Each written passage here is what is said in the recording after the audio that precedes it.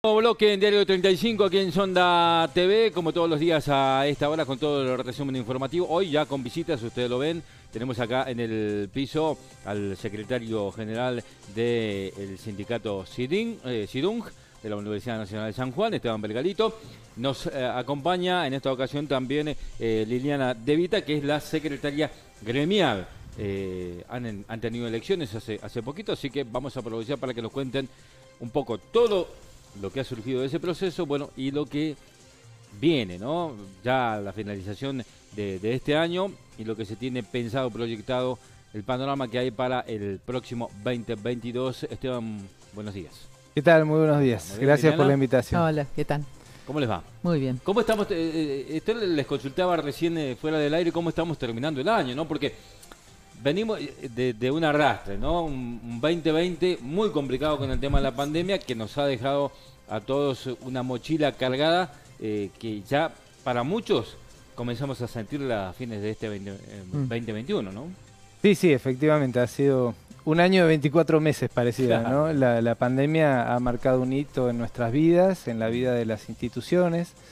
Y bueno, el ámbito educativo ha sido un ámbito también intenso, demandante, ¿no? Porque ha habido que tomar muchas decisiones, regular condiciones de trabajo en paritarias, eh, a veces con, pocas orientaciones con las que uno podía tomar del área de epidemiología, del área de salud nacional, eh, y también, bueno, reflexionando mucho a nivel local qué condiciones de edilicias teníamos, qué dinámicas, no es lo mismo los colegios preuniversitarios que las facultades.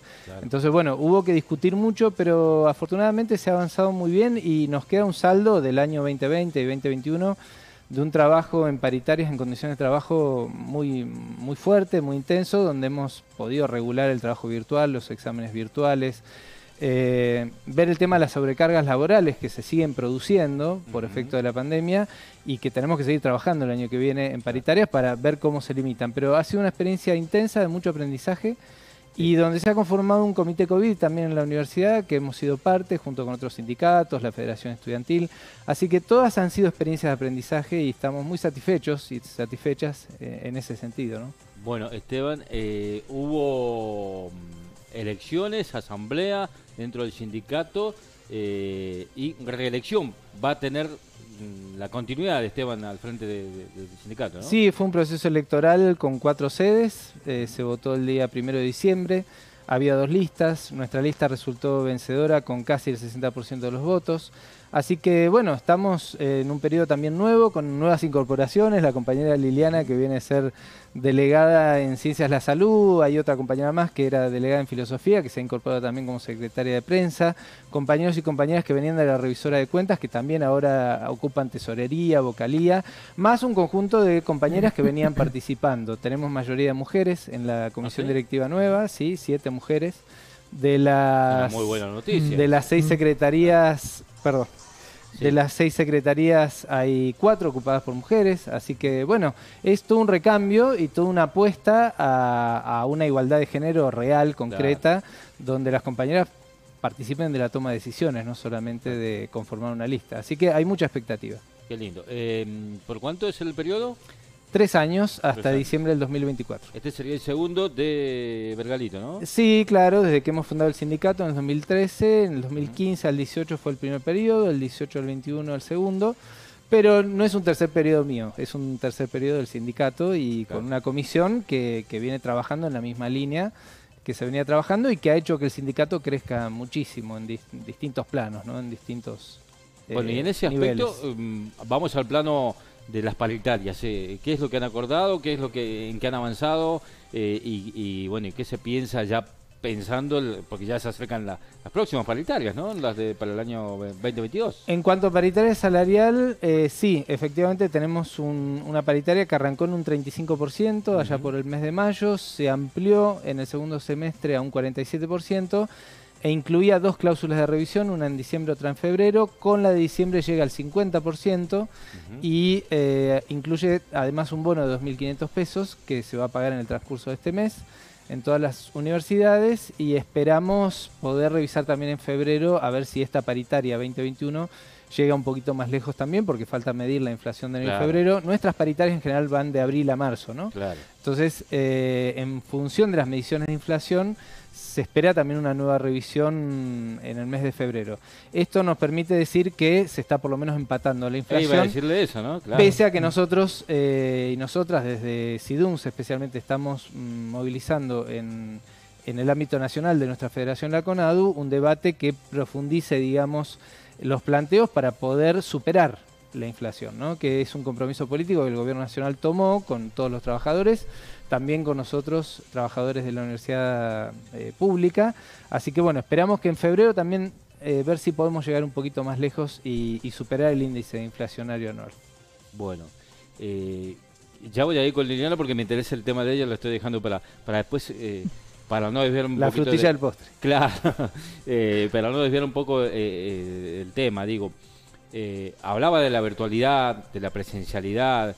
En esas, eh, en esas cuestiones han tenido que ir eh, ingresando en, campos que no estaban previstos de que, de que se, se, ingresara, ¿no? Porque el tema de la virtualidad, bueno, obligado por la pandemia y no estaban legislados, habían grises, habían cuestiones que había que, tratar. ¿Cómo lo manejaban eso? ¿Están conformes con lo que se ha conseguido? Efectivamente, has dado en el clavo. No existía en el convenio colectivo de trabajo docente universitario que rige a nivel nacional no estaba previsto eh, trabajar virtualmente, más allá de que históricamente se venía avanzando en educación a distancia, apoyo virtual para la presencialidad.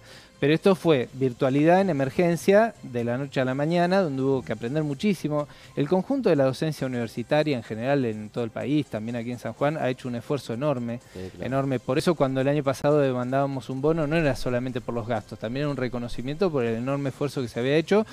Aprender prácticamente solo en muchas, en muchas situaciones. Eh, en nuestra universidad ha habido algunos avances en cuanto a incorporación de plataformas, muchos cursos que la universidad ha brindado de manera gratuita para capacitar a los docentes. Bueno, ha habido un avance, pero ha habido poco tiempo. La verdad que en un año, año y medio eh, se ha aprendido todo lo que se ha podido. Esperamos que para el año que viene se pueda seguir regulando, porque como decíamos recién, la cuestión de la sobrecarga sigue existiendo, es muy fuerte. Se ha trabajado en los hogares, entonces esto también produce eh, el corrimiento, el desplazamiento del ámbito laboral natural. Eh, así que bueno, todavía hay mucho para discutir. Eh, se ha trabajado con un criterio de voluntariedad justamente porque en el convenio colectivo docente no existía.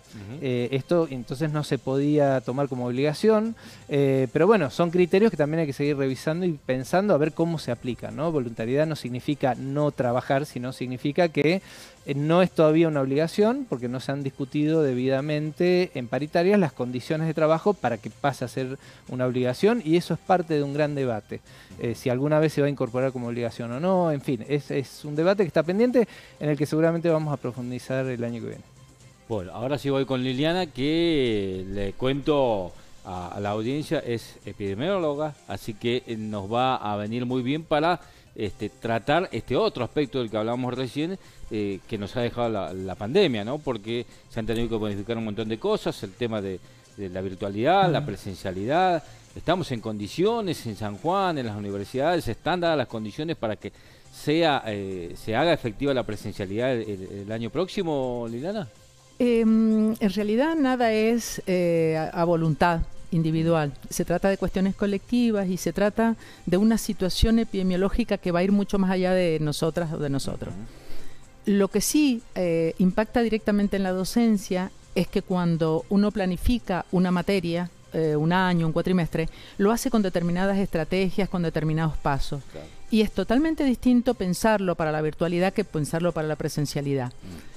No sabemos en marzo del año que viene, yo personalmente creo que sí, porque nuestro país y nuestra provincia están bien en el tema de vacunas, tenemos buena cobertura y tenemos, la provincia de San Juan particularmente, tiene mucho control en muchas cosas, quizá por ser una provincia mm, de, en algún sentido aislada, otras provincias quizá más turísticas, eh, sufren consecuencias que nosotros no tenemos. Entonces, personalmente creo que sí. Ahora, ¿qué tipo de presencialidad vamos a tener? Es lo que no estoy segura, porque nosotros tenemos eh, equipos docentes constituidos de una manera, eh, en cuyos primeros años de casi todas las carreras tenemos exceso de, estudiantes, cursos de 200, de 200 inscriptos, primero, segundo año. Entonces, no es lo mismo trabajar en un aula de un colegio secundario con 30 chicos que nunca van a ser más de 30 eh, a nosotros que de pronto una cohorte viene con 150, 200, 250 estudiantes. Entonces, ¿cómo se atiende o cómo lo vamos a hacer? ¿Y quiénes vamos a hacer? Porque de, esto, eh, esto deviene siempre en una sobrecarga para el docente la idea es poder seguir discutiendo esas condiciones, que presencialidad sí, todos la queremos porque creo que la gente que estamos formados en presencialidad la elegimos, la preferimos. Eh, para los estudiantes también es lo mismo, es una necesidad, es un estímulo distinto. Hemos tenido como mucha pérdida en, la virtualidad, eh, chicos que se desaparecían o por problema de conectividad. Entonces, no queremos eso, queremos que la universidad no pierda ningún estudiante. Ahora, ¿en qué condiciones lo vamos a hacer? Es lo que todavía no está claro y lo tendremos que conversar el año que viene, eh, iniciando las paritarias y conversando ese tema. para cuidar la salud, porque de pronto nuestro, nuestra función gremial fundamentalmente tiene que ver por la defensa del salario, perfecto. Pero un salario que sea conseguido y obtenido en circunstancias que no nos perjudiquen la salud. que no constituyan un riesgo, que no se transformen en enfermedad o en muerte en el peor de los casos. Eso es lo que pienso que vamos a tener que discutir con la mejor voluntad posible, pero siempre pensando que estamos defendiendo eh, la condición, el salario y la condición en que cada docente, desde el simple jefe de trabajos prácticos hasta el titular, de todas las carreras de la universidad, no es que una sea más importante que otra, las tecnicaturas, las licenciaturas, los doctorados, todas tienen para nosotros esa condición de, de prioritaria en el sentido que hay una persona, un trabajador docente, que está poniendo su cuerpo, está poniendo su cabeza, está poniendo todo lo que es para sacar ese año adelante, para que sus alumnos aprueben y eh, entonces eso hay que tener mucho cuidado cómo volvemos, no es decir solamente se abren las aulas todos adentro, todos afuera. Entonces eso va a ser mucho a discutir. Eh, vamos a tratar de más aún, eh, Liliana, teniendo en cuenta de que, va a tener que ser una cuestión abarcativa, porque ya, ya no solamente se limita la universidad a lo que es acá el Gran San Juan, ahora hay este cartelas que se dictan en los departamentos, en Calingasta, Hacha, el Valle Fértil, y que tienen otras condiciones que son distintas tal vez a, las, de acá, ¿no? Exactamente. Eh, esos centros que tiene la universidad con carreras que están en otros lados, fuera de la ciudad, tienen también sus condiciones y se está atendiendo, particularmente la carrera de donde yo vengo, que es enfermería, eh, se ha terminado de dictar en Hachal, yo estoy yendo a tomar examen, ahora es presencial, hasta hace dos meses eh, o tres era virtual. En la medida que se puede, se accede también a la presencialidad, pero cada lugar se va eh, manejando según las condiciones locales. Y dentro de eso, el docente y la docente estamos con todo lo que hay que poner, pero bueno, eh, siempre tratando de que el riesgo se cuide, que no haya peligro, que no haya problemas de salud, ni para nosotros, ni quizá para los chicos que podemos llegar a, a, contagiar sin querer. Entonces, todo eso se está cuidando y mucho. Desde nuestro sindicato hemos trabajado mucho en las condiciones de higiene, hemos hecho cursos virtuales, eh, fue... Eh, fue presencial y virtual, era cuando todavía no se terminaba de cerrar. Bimodal. Eh, bimodal fue en realidad. Eh, sobre cómo cuidarse, sobre eh, condiciones mínimas y, cosas que por ahí en, la publicidad masiva no, no, no, se hace tanto hincapié, desde cómo lavarse las manos hasta... y entonces hemos tratado de que cada uno de nosotras y nosotros seamos un elemento que, que aporte, que se prevenga, que se cuide y que cuide al otro. De esa manera lo estamos haciendo va a ser muy importante, me parece, el aporte de, ella, ¿no? Para, para el sindicato, porque es, docente, lo vive desde adentro, mm. conoce la, problemática y va a tener los argumentos necesarios como para, para discutirlos, ¿no? Sí, no, sin duda Liliana es la de nosotros y nosotras la, mm. la, más preparada para este área gremial en este momento. ella es muy humilde, no, no cuenta que además es titular de salud mental y tiene mucha ah, experiencia en ese área, así que porque también, ¿no? Eh, Lo psicosocial forma parte de lo que la pandemia ha puesto, eh, no quiero decir en jaque, pero ha vulnerado de alguna manera y, a todos a todos nos pasa, ¿no? Eh, situaciones de angustia. Lo vemos con, con, con, los, con los estudiantes. Bueno, Muchos de ellos que han perdido seres queridos, eh, muy cercanos, que los ha afectado, supongo... Este... incluso hay consecuencias de nuestro trabajo docente, que yo lo estoy conversando ya con mis compañeras y compañeros, que no vamos a ver ya. Consecuencias de, desgaste y quizá de, trastornos que vamos a ir viendo en el tiempo. Eh, todos estuvimos sometidos a, presiones y a un estrés totalmente inesperado por eso yo hablo y pienso muy seriamente en esto de discutir muy profundamente las condiciones en las que salimos, porque también vamos a necesitar otro tipo de apoyo, de, encuentros, de charlas, de debate, de, conversar en territorio, en cada uno de los espacios de la universidad cómo vamos a reorganizarnos en, esta nueva presencialidad. De hecho, cuando estábamos en campaña antes de la elección, recorrimos muchos lugares de la universidad y se reclamaba eso un poco, um, la incertidumbre, la necesidad de información cercana. Entonces también pensamos o hemos programado eh, un 2022 con, 22 con mucha presencia en el territorio para, para discutir esto no solos, no en un escritorio, no dentro del sindicato, sino donde están los problemas que tienen cada uno de los docentes y las docentes de la universidad. ¿Han, tenido contacto? ¿Han hablado? Supongo que eh, alguna relación deben tener con la nueva ministra de Educación de la, de la provincia. Digo, porque van, a, discutir todos estos temas, eh, lo van a tener que discutir con ella, ¿no? En realidad nosotros, mm. nuestro ámbito es la universidad, sí, ¿no? Eh, sí, obviamente la pandemia obligó a que la universidad se articule con la provincia, por una cuestión lógica de distrito sanitario y educativo. no hemos tenido contacto directo como sindicato, pero en caso de hacer falta lo, podemos hacer inmediatamente. Nosotros trabajamos en paritaria de manera muy fluida, ya hace muchos años que la paritaria docente tiene mucha fluidez, hay una agenda muy amplia, se viene trabajando. Tenemos obviamente mucho contacto con las nuevas autoridades, eh, hay dos de los secretarios, más muchos secretarios académicos que forman parte de la representación de la universidad en la paritaria docente eh, de la universidad. Pero sí, sí, se está yendo un proceso también fruto de la pandemia de acercamiento entre la problemática educativa universitaria y provincial, más allá de que la universidad tiene autonomía, pero eh, digamos, es una autonomía que desde el punto de vista sanitario no, no, no, corre, digamos, no, aplica porque estamos en el mismo territorio y además Salud Pública de la provincia es el órgano de Contralor y, la autoridad. Eh, así que sí, eh, por eso digo, en este proceso hay muchos aprendizajes y muchos desafíos que se van abriendo. Uno de ellos, que siempre desde el sindicato hemos sido eh, impulsores, digamos así, es que se fortalezca la relación entre la universidad y la provincia, porque son dos instancias del Estado, el gobierno de la provincia, igual que los municipios, y la universidad, que respondemos al mismo pueblo. ¿no? Entonces, como organización popular, siempre alentamos la mayor comunicación, mm. la mayor articulación, y la pandemia, más allá de sus consecuencias negativas, también ha propiciado un diálogo más, mm. más intenso entre los distintos organismos del Estado. Yo creo que es fundamental el tema que, que debe tener este las distintas áreas del gobierno con la universidad, ¿no?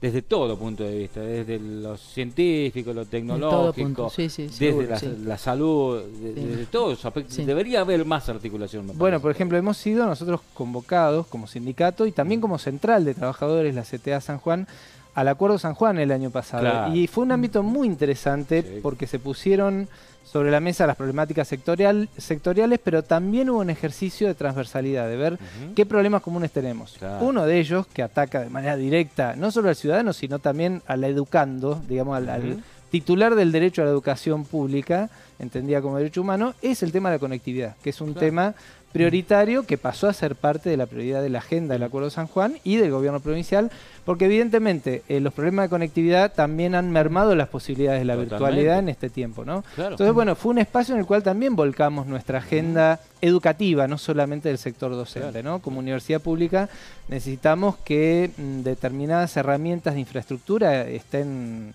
estén garantizadas para que lo que quede de la virtualidad en aquello que resolvamos de mutuo acuerdo, en la paritaria, también tenga más fluidez y se pueda incorporar al aprendizaje cotidiano. Y como la conectividad, hay un montón de cosas transversales, por ejemplo, un tema central, me parece a mí el tema de la crisis hídrica y en la que puede aportar, me parece muchísimo la, universidad, ¿no? Digo, la búsqueda de soluciones a todo esto, ¿no? Sin duda. Bueno, de hecho estamos pidiendo un bono local y la respuesta que hemos recibido es que no hay fondos disponibles de la universidad, entre otros gastos por el tema de la crisis hídrica que también está afectando Palomar, eh, y otras zonas, ¿no? Entonces, has dado en la tecla también en ese sentido. Hay, hay a veces situaciones de emergencia eh, geográfica o climatológica, ecológica en general, que en este caso también está trabando la posibilidad de un bono ahora fin de año para los docentes. Así que bueno, eh, sí, efectivamente nada está desconectado del resto de la situación. Tienen grandes desafíos, ¿eh? Sí, sí, ya lo creo. Pero bueno, así, así como están los desafíos, también surgen las posibilidades de solución, la creatividad. Mm, incluso en este año y medio que hemos estado trabajando en el sindicato, hemos eh, apelado a cosas que por ahí ni siquiera sabíamos que teníamos como riqueza, como así que creo que vamos a tener que seguir siendo muy creativos, siempre nunca sin perder de vista que estamos defendiendo un espacio muy legítimo que es el, el espacio del trabajador docente y que bueno, atendiendo a toda esta complejidad institucional y social en general, eh, sabemos muy claro dónde estamos y, y, qué es lo que debemos defender. Así que creo que vamos a tener muchas, muchas cosas buenas. Qué lindo. Bueno, no tenemos mucho tiempo, pero yo siempre eh, pregunto, digo, porque por ahí uno pregunta cosas y a lo mejor ustedes tienen ganas de decir otra cosa que no, mm, yo no lo, puse en foco. Bueno, primero agradecerte porque a vos y al canal, porque el tiempo ha sido inmenso. eh, tiempos mediáticos ha sido un montón, así que muchas gracias. Bueno, reafirmar esto último que decía Liliana eh, y en base a tu pregunta también, en lo que creemos es en la fuerza colectiva. Creemos que la articulación colectiva, el empuje colectivo eh, es lo que nos va a ir allanando caminos para salir adelante como sociedad, como pueblo en general y también como colectivo docente que está representado por varios sindicatos. Eh, también el Frente Gremial ha sido muy importante, eh, que reúne a todos los sindicatos de la universidad, APUNS, ADICUS, UDA y SIDUNS, en este tránsito de la pandemia porque nos ha fortalecido y nos ha mostrado que más allá de las identidades gremiales tenemos una agenda común, tenemos acciones para llevar adelante y que de esa manera representamos mejor a todo el colectivo de trabajadores de la universidad, ¿no? Trabajadores y trabajadoras, por supuesto. Así que bueno, han sido aprendizajes y no todo en la pandemia es malo, aunque no deja de haber tragedias, por supuesto, pero hay aprendizajes humanos que, como decía Liliana, vienen de la mano de eh, ser sometidos a prueba, ¿no? Y, y, demostrar que a veces tenemos energía, fuerzas, inteligencias colectivas que, no sabemos que las teníamos, ¿no? Entonces creo que hay que apelar a eso y apelar, por supuesto, a una mirada muy amplia, una mirada no sesgada, no mezquina, a, a hacer política sindical desde la generosidad y eso es lo que va a traer una multiplicación de resultados positivos. Yo pensaría, yo pensaría eso que dice Esteban, agregarle, bueno, invitar a todas las docentes y los docentes de la universidad que se arrimen a nuestro sindicato, porque por ahí hay ciertas ideas, hay mucho prejuicio todavía sobre lo que es el sindicalismo, y el sindicalismo es una de las cuestiones más hermosas que tiene esto de defender colectivamente los, intereses comunes, es algo muy bueno y nos faltan manos, entonces invitamos a, docentes de la universidad para que se arrimen, conozcan, porque no todos los sindicatos son iguales, cada quien tiene su estilo,